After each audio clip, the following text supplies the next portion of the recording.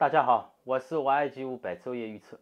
今天是十月六号，今天我们要来预测下黄金，世界的黄金。这段时间黄金跌的比较多，所以有人提议让我预测下黄金。这是昨天摇的卦。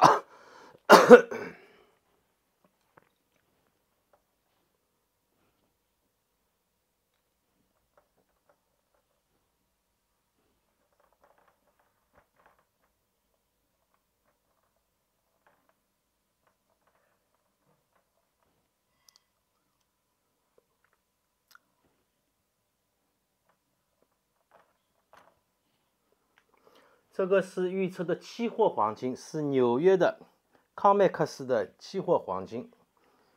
昨天测的时候是一千八百三十七美元，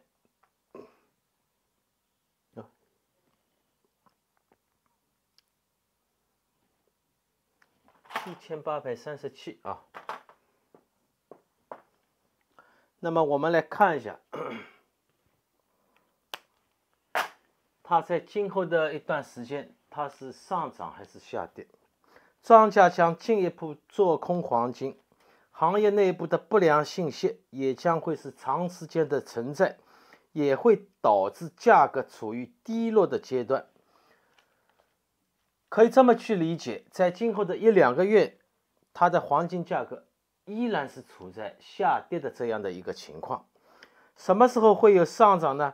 在两个月后的十二月份，受外部的有利因素，可能会导致有一波，也许可能是一过性的，在十二月份有一波价格波动上扬。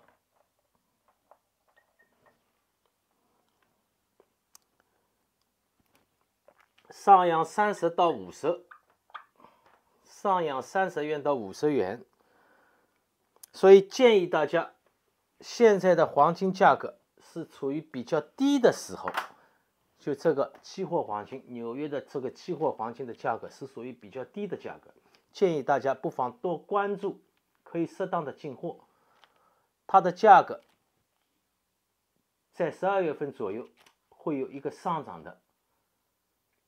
一个点啊，欢迎大家多关注建仓啊！